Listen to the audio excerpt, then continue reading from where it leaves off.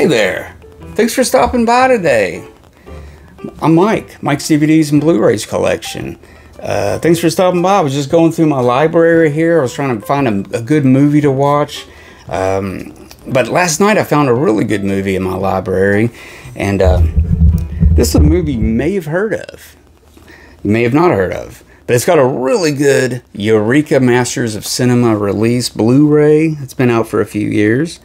Uh, but man, this is a great movie. I love it. Every time I watch it, I just I really like it a lot more. More, it's just mm, it's really good. Uh, but the movie I'm talking about is uh, Violent Saturday from 1955. Is it 55 or 56? Gosh dang it. I think it's 55.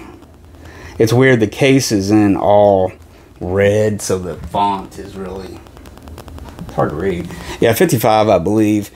Um, it's kind of it's hard. Man, this movie's kind of a kind of a drama slash film noir slash like uh, you know crime caper movie. Uh,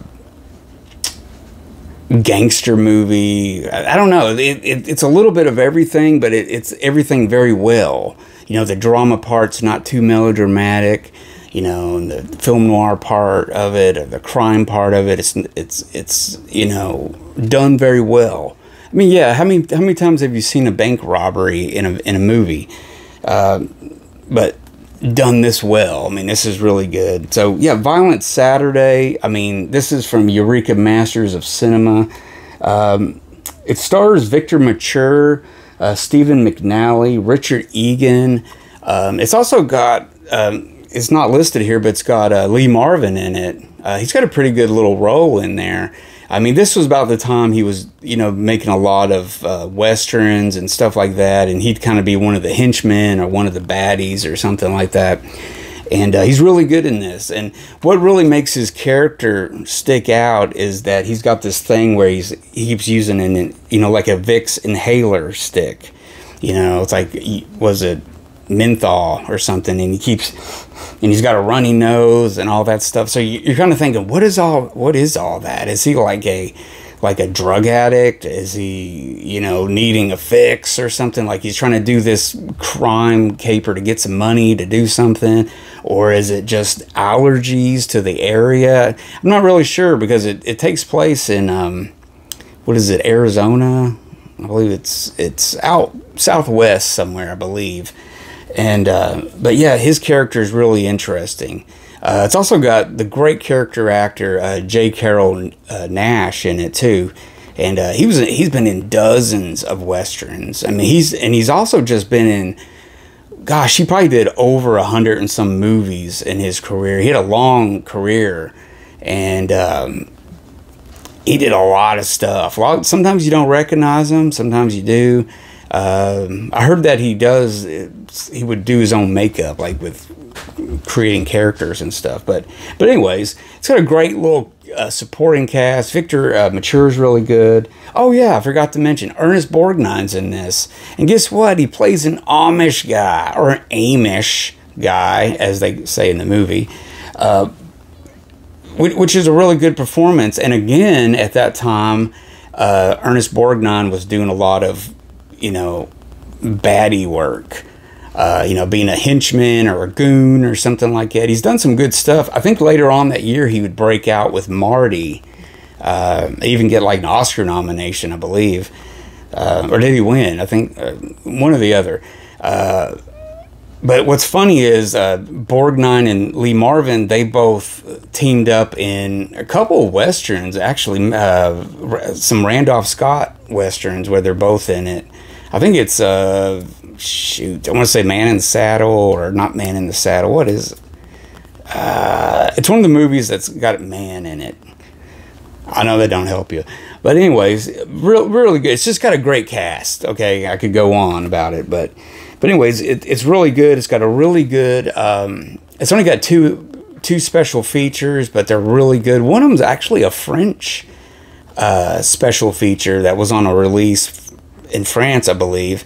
But thankfully they had they got subtitles and stuff, and it's really good actually. Um, it's a it's a really well thought out um, essay, you know, video essay on the movie and stuff. Uh, really, really good. And then the uh, the other one was about the director, I believe, because um, it's Richard Fleischer. You know, uh, he directed everything from Conan the Destroyer to oh man, he he just directed a lot of stuff. He he basically did every every genre there was. He was a really good director with style and uh, he really uses the the widescreen camera uh, in this movie because uh, you know they were really just starting to really experiment with widescreen at this time. Uh, it just came out two years previous, uh, so he's really using his frame uh, to his advantage, kind of like Sergio Leone would do, and he would fill the screen, you know, and really compose a picture, you know, and uh, which is something that would suffer on TV back then because it would be all lopped off and stuff, and it probably looked bad, and people probably didn't like the movie or something because it was it looked bad or something. Uh, but you know that was a lot of movies back then. But anyways, Violent Saturday. It's a it's a good uh, caper movie. Um, these three four guys come in uh, to this town. They're going to rob this bank. Um, and basically it just it just falls apart at the end.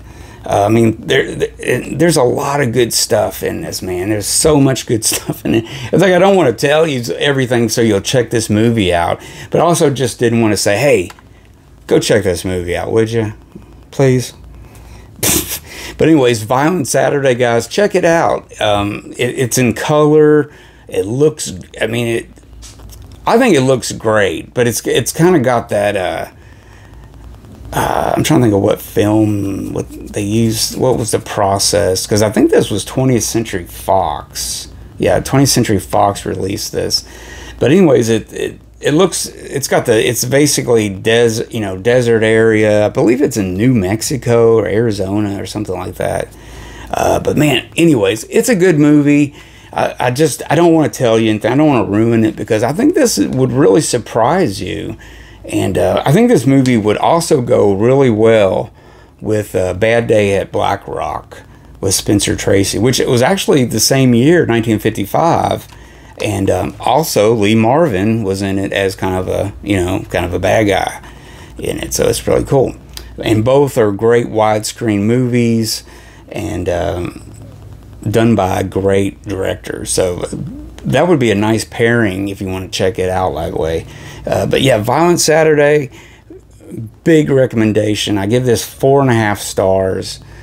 Um, if, the, if it doesn't grab you the first time, I'm just saying, it, it, it got me at the beginning give it another try and stuff. Come back to it because it, it really it really breathes and it's it's just it's a great movie. It really is. It's one of those rewatchable one. Um, this edition actually has the DVD in it also. Um, I believe this came out about ten years ago on Eureka.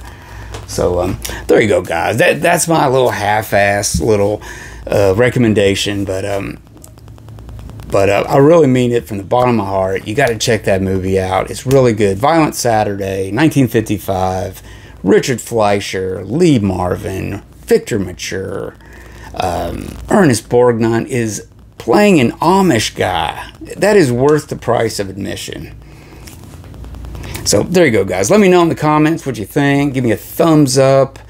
Um, again, thumbs up if you love Lee Marvin. Let's see how many thumbs we can get on here. and uh, let me know in the comments, guys. Check out my channel um, and subscribe if you haven't already.